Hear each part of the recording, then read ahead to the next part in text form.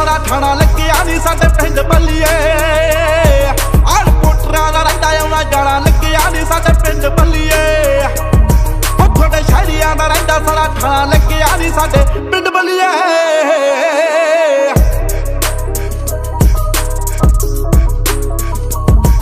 ਆਓ ਬਾਈ ਇੰਤਜ਼ਾਰ ਨੇ ਲਾਏ ਤੁਰਦੇ ਮੇਰੀ ਗਾਂਦੀ ਤੋਰਨੀ।